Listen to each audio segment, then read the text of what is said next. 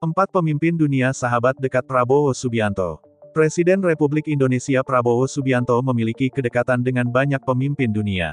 Kedekatan personal itu menguntungkan Prabowo dalam membangun diplomasi dan memperkuat Indonesia dalam panggung global.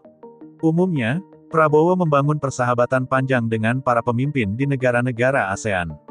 Namun, dia juga memiliki akar pertemanan global yang luas karena pergaulan internasional yang kuat dan solid.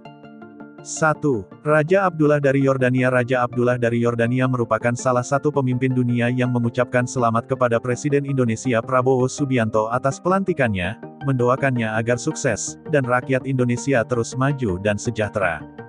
2. PM Malaysia Anwar Ibrahim Perdana Menteri Anwar Ibrahim pada Sabtu, tanggal 19 Oktober tahun 2024, malam langsung mendatangi rumah keluarga sahabat lamanya di Kertanegara, Jakarta Selatan, untuk makan malam santai dan menyenangkan bersama.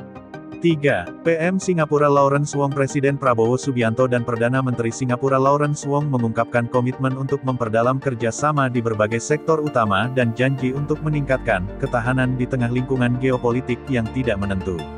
4. Presiden Filipina Ferdinand Marcos Jr. Presiden terpilih Prabowo Subianto pernah mengunjungi Manila untuk melakukan pertemuan bilateral dengan Presiden Filipina Ferdinand Marcos Jr. saat masih menjadi Menteri Pertahanan.